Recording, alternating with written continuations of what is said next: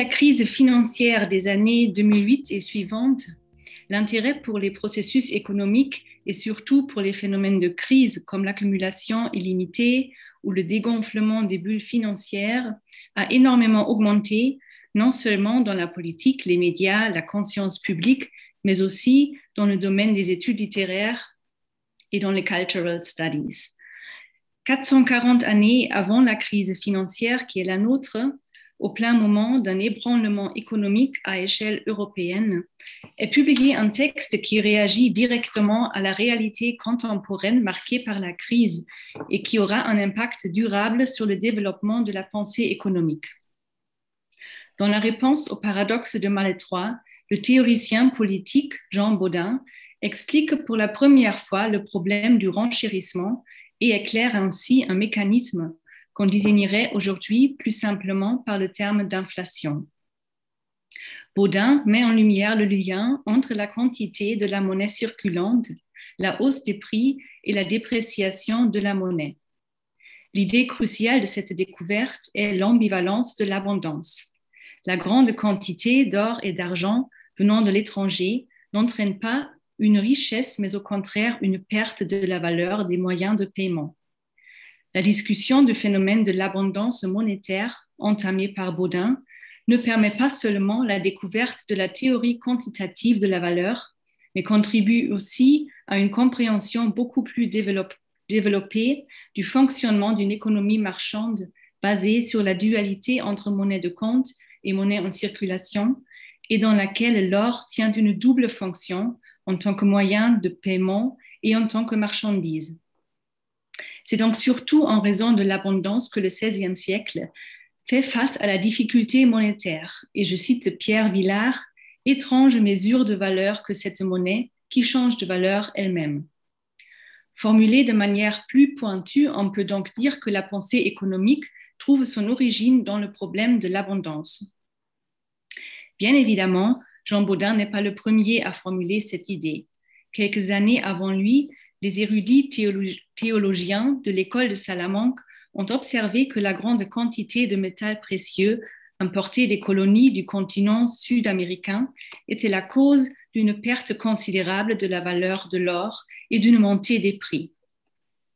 La position de Jean Baudin et de son texte dans l'histoire de la pensée économique et surtout le degré innovateur de ses arguments ont donc été sujets à controverse.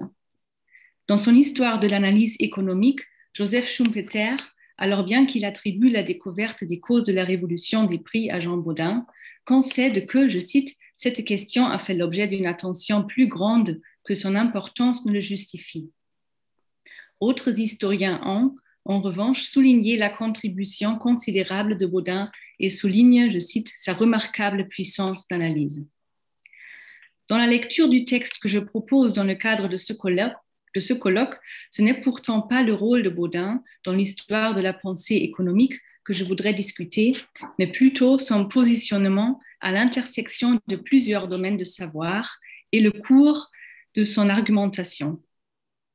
Pour éclairer ses idées, Baudin mobilise une grande diversité de sources, de connaissances et d'écrits qui s'étendent de registres économiques contemporains aux écrits philosophiques de l'Antiquité. En raison du grand nombre de sources et de références auxquelles Baudin fait appel, il y a une corrélation productive entre le sujet de réflexion et la manière dont il est présenté. L'abondance représente donc à la fois le cœur de l'argumentation et la principale procédure textuelle. Outre l'analyse économique de Baudin, je propose donc de mettre en lumière sa manière d'écrire et donc de lire ce texte, si l'on veut, non pas seulement comme une œuvre théorique, mais comme texte culturel. Les différents procédés rhétoriques utilisés par Baudin témoignent de son effort de mieux saisir l'ambivalence de l'abondance. Dans le débat sur la relation entre la littérature et l'économie, deux perspectives de recherche dominent jusqu'ici. D'une part, la prise en compte de la manière dont les textes littéraires représentent et reflètent des thèmes, des constellations et des motifs économiques. Et d'autre part, l'analyse de la manière dont les textes économiques se réfèrent à leur tour à des schémas de représentation, des procédures rhétoriques ou des métaphores littéraires. Et ce sont notamment les, travaux de McCloskey que Christophe de, vient de citer déjà. Cependant, cette séparation claire entre deux perspectives de recherche ne vaut que pour la période historique dans laquelle l'économie forme un champ scientifique clairement délimité, c'est-à-dire à partir de l'époque des Lumières. La réponse de Baudin surgit avant la formation d'une discipline économique en tant que telle, et il est donc particulièrement prédisposé à combiner une variété de champs de connaissances et de modes de représentation différents. Une analyse du texte qui veut rendre compte de son positionnement historique doit donc se situer entre les deux perspectives de recherche submentionnées. Mais reprenons au début et récapitulons le contexte de l'apparition de la réponse. Depuis le début du XVIe siècle, la France souffre d'une crise économique considérable avec une hausse des prix continuelle. La Chambre de comptes de Paris donne commission à Jean Chéruy de Malestroit, conseiller du roi et maître ordinaire de ses comptes, à éclaircir ce développement. Dans le texte qui en résulte, les paradoxes du seigneur du Malestroit sur le fait des monnaies celui-ci défend l'opinion que l'augmentation des prix est seulement nominale et peut s'expliquer par une dévaluation de la livre tournoi, autrement dit par la modification du rapport entre monnaie de compte et argent-monnaie. Ceci implique qu'une marchandise serait toujours payée par la même quantité de métal précieux qu'auparavant.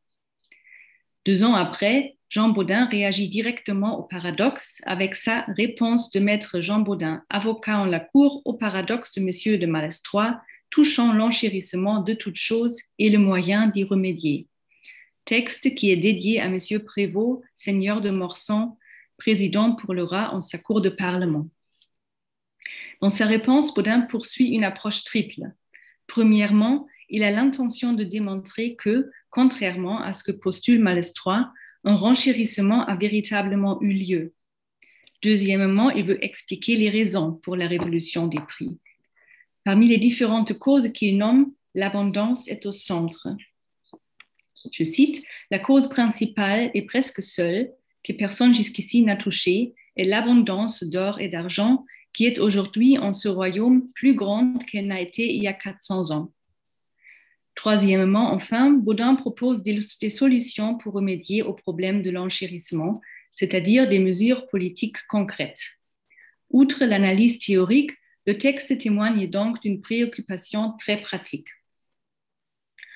En raison de son double orientation, son caractère de réponse d'un côté et son conseil envers un commissionnaire du gouvernement de l'autre, le texte de Baudin comporte une sorte de double dialogisme.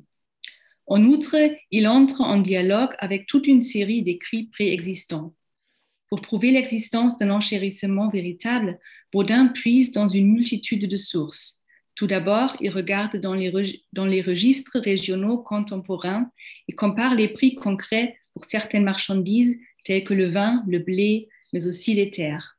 Il se réfère au cadastre de Toulouse ou au registre de Châtelet il reproduit en long et en large les indications des prix, avec le résultat que les énumérations détaillées, son propre discours prend la forme d'une liste ou d'un inventaire. Et je ne cite pas euh, tout ce que vous voyez euh, ici. Vous voyez qu'il y a plusieurs marchandises comme charge de métal, mais aussi poules, moutons gras, et puis euh, l'orge, l'avoine, avec des prix concrets comme 25 sols tournois ou aussi deniers. Donc, euh, il y a toute une liste euh, avec marchandises et prix. La reproduction détaillée des listes et des prix a pour but de faire preuve de sa thèse d'un renchérissement et surtout de démontrer qu'il s'agit d'un fait évident. Je cite, Je laisse une infinité de pareils exemples sans toucher au doigt ce que chacun voit à l'œil. C'est la visibilité du processus qui est accentuée ici. Mais Baudin remonte bien plus loin et met en jeu toute une série de sources très diverses. Pour expliquer le mécanisme lié à l'abondance, il se réfère à une pluralité d'autorités antiques telles que Pline, Cicéron ou Plutarque. Baudin entreprend donc un examen non seulement de l'évolution contemporaine qui est alimentée par les registres, mais aussi une multitude de sources antiques. Pour donner un exemple, Je cite, La principale cause qui enchérit toute chose en quelque lieu que ce soit, c'est l'abondance de ce qui donne estimation et prix aux choses. Plutarque et Pline témoignent qu'après la conquête du royaume de Macédoine sous le roi de Perse, le capitaine Paul Émile apporta tant d'or et d'argent en Rome que le peuple fut affranchi de payer taille, et le prix des terres en la Romagne haussa des deux tiers en un moment. C'était l'abondance d'or et d'argent qui cause le mépris de celui et la charté des choses prisées. Comme il advient à la venue de la reine de Saba en la ville de Jérusalem, où elle apporta tant de pierres précieuses qu'on les foulait aux pieds. Compte tenu de la juxtaposition et combinaison de références diverses telles que Pline et la Bible, la seule quantité d'exemples est frappante, mais également la grande variété. L'historien Eckhard Budrus a fait une liste de toutes les références euh, explicites ou implicites qui se trouvent dans la réponse. D'autres chercheurs ont critiqué la multiplicité d'anecdotes historiques et d'exemples antiques et constatent que, je cite, parenthèses, digression, régression ne permettent pas toujours de retrouver le fil rouge de l'argumentation. Cette manière de procéder, par exemple, et surtout le fait de puiser dans l'Antiquité, laisse penser à l'écriture méandre d'un Michel de Montaigne, par exemple. Et on peut se poser la question de la fonction concrète de ces références antiques, outre le fait qu'elles témoignent de l'érudition de l'auteur. Pour le but argumentatif concret qui consiste à prouver l'existence d'un renchérissement, elles ne sont pas strictement nécessaires, car Rodin peut la prouver en s'appuyant sur les registres et en observant la généalogie des prix actuels. Les histoires exemplaires de la reine de Saba ou du capitaine Paul-Émile ont donc une fonction autre et supplémentaire. Elles ne contribuent pas tant à l'analyse de la situation économique présente, mais dans le sens classique de la historia magistra vitae cicéronien, donc l'histoire comme maître de la vie, elles éclaircissent plutôt un mécanisme général, quasi anthropologique. Le processus analysé, l'influence déterminante de l'abondance sur la valeur et le rôle de l'estimation gagnent donc une portée transhistorique. En même temps, il est intéressant de noter que Baudin ne cite pas ses sources de manière très fidèle, mais qu'il y attribue des légers changements. Parfois, il s'agit d'un faux calcul ou d'une reproduction incorrecte, mais il y a aussi des ajouts et des compléments avec la possible intention d'illustrer l'exemple et d'agrémenter la lecture. De cette manière, l'auteur utilise ces sources non pas seulement pour exemplifier ses thèses, mais afin de les exposer dans le sens littéral, donc de montrer à l'œil l'abondance d'or et d'argent. Baudin met en scène une véritable représentation ces exemples prennent le caractère, le caractère de la figure rhétorique de l'enargeia ou evidencia, telle qu'elle est décrite par Terence Cave dans son étude sur le cornucopian text. Je cite Enargeia, which may be initially defined as the evocation of a visual scene in all its details and colors, as if the reader were present as a spectator. Its Latin equivalents are evidentia and illustratio, which are often used synonymously by rhetorical theorists. Il y a, il y a aussi euh, une analogie avec ce que disait Alexandre Perrault sur euh, la fonction de l'hypotypose. Donc, certes, la réponse reste un traité économique et l'écriture de Baudin ne prend à aucun moment le caractère, par exemple, d'une scène littéraire. Et cependant, les exemples historiques vont souvent au-delà de la source dont ils sont tirés. Baudin s'inspire des exemples historiques à des fins d'illustration, mais il y apporte des modifications ou des embellissements. On peut, aussi en accord avec la vision de Terence Cave, reconnaître ici une écriture de l'abondance ou de la copia qui est typique pour la Renaissance. Mais surtout, et plus décisif encore, il s'agit d'un procédé productif pour discuter l'abondance dans son ambivalence. Pour rendre compte de la complexité de la discussion de Baudin, il est important de noter que son analyse du renchérissement ne forme qu'une partie de son argumentation. À côté de sa réflexion sur la surabondance d'or et d'argent qui provoque une dépréciation de la monnaie, il y a une autre forme d'abondance, naturelle et bénéfique dans ce cas-là, qui est également évoquée par l'auteur. Je cite, Mais pour mieux vérifier ce que je dis, laissons les fruits et venons au prix des terres, qui ne peuvent croître, ni diminuer, ni être altérés de leur bonté naturelle, pourvu qu'on les cultive comme on a fait depuis que Cérès, dame de Sicile, en montra l'usage. Car il n'est pas vraisemblable que la terre, pour vieillir, perde sa vigueur, comme plusieurs pensent, et qu'ainsi soit depuis que Dieu posa la France entre l'Espagne, l'Italie, l'Angleterre et l'Allemagne, il pourvut aussi qu'elle fût la mère nourrice portant au sein le cornet d'abondance qui ne fut oncle et ne sera jamais vide. Les topoi évoqués ici, qui seront rappelés à plusieurs reprises dans le cours de l'argumentation, célèbrent la position géographique et climatique de la France. Par surcroît, ces, descriptions proviennent du domaine de la fiction ou du moins d'une idéalisation et font penser à des représentations pastorales. Cérès, avec son cornet d'abondance, la fertilité, les sources inépuisables, évoque à peu de choses près des images d'un âge d'or tel qu'il était décrit par Ovide ou Hésiote et où tout ce dont a besoin l'homme se trouve à sa disponibilité. Il y a donc opposition entre une forme d'abondance qui est positive, divine, naturelle, et une autre, maléfique, qui cause le, mépris. L'une va dans le sens de l'exubérance naturelle, prolifique, inépuisable, pendant que l'autre implique une superfluité répréhensible et critiquable. Et je cite, Les minières de Septentrion et des Indes s'épuisent en peu de temps, et l'or, une fois épuisé, ne peut renaître qu'en mille ans. Mais nos sources vives de blé, vin et sel sont inépuisables.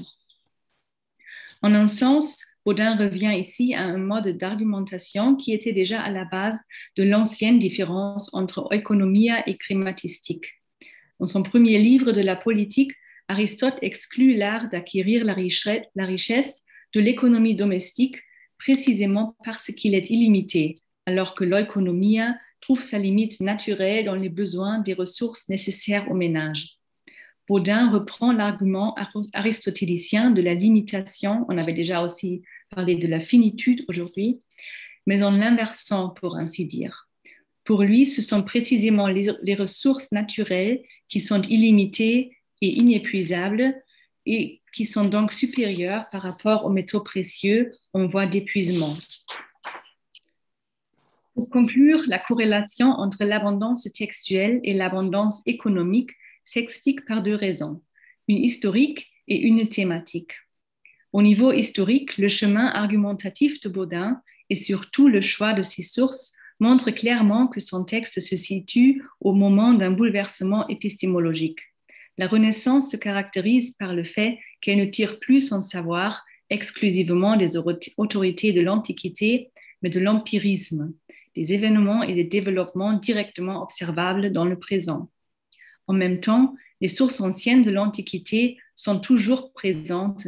Elles sont invoquées, adaptées et repensées en fonction des circonstances contemporaines. Au niveau thématique, il s'agit de discuter l'abondance comme une catégorie éminemment ambivalente. Son évaluation oscille entre une copia prolifique et une surabondance superflue. Si le débat sur l'ambivalence de l'abondance est caractéristique de la Renaissance, il a toutefois une validité bien au-delà. Au XVIIIe siècle, il y a le débat sur le luxe qui est discuté par exemple par Voltaire et au début du XXe siècle, il y a l'inflation qui préoccupe des auteurs comme André Gide ou Italo Svevo.